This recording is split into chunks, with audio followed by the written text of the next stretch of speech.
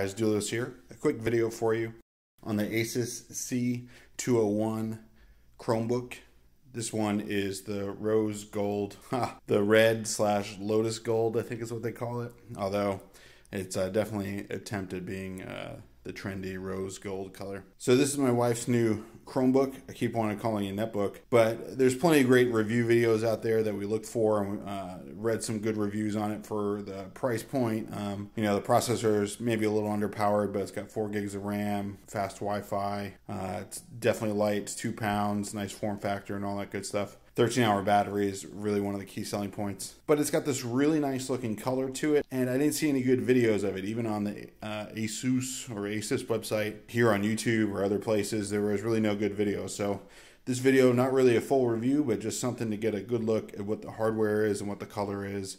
And I'll try and make sure post-production matches color as close as possible. So this is the back of the Chromebook. I keep wanting to call it a netbook, but it's a Chromebook as you can see. The color is very um, silverish. There is a slight uh, red hue to it, so it's not straight silver. It's not really gold. It's not really bronze. It's almost like if you took silver and maybe hit the gold and a little bit of red in there, you'd get this color. It says Asus and this chromish sticker. It's not sticker, but lettering that's kind of embossed into the back. And then the Chrome logo is in there. And you can barely read Chrome at the top. All right, so there's no clasp on the hinge, it just opens up.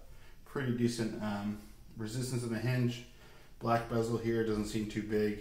Nice red fade from a deep red through to this lotus gold color, whatever they're calling it. Little Asus logo, camera light, I'm sorry, camera light and microphone. Um, keyboard's not bad, especially for their price point. Little chiclet style, decent response. Um, not backlit or anything. Trackpad is very nice, smooth. Trackpad seems to be a solid red while the case has a fade to it. And then this is some sort of textured plastic. From what I understand, the screen is very glossy and glare, and I can see that. So outdoor use is probably not recommended, at least in direct sunlight. All right, so on the right side, there's two USB 2.0 ports, not 3.0, 2.0.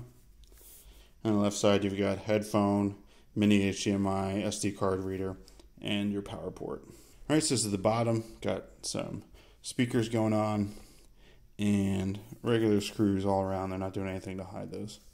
But I don't know they expect anything more at this price point. It's very light, very light, two pounds they say. Um, the size is nice. The weight distribution is nice, even when it's opening. It's definitely weighted a little more towards the back. Obviously, when you have the screen up, that's just the way things work. Um, but it's definitely nice and comfortable and light. And we'll see how it holds up.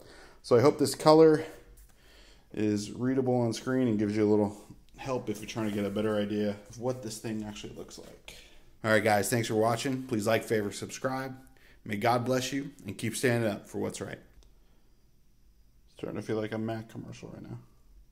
Except I didn't just pay $1,000 for a MacBook Air.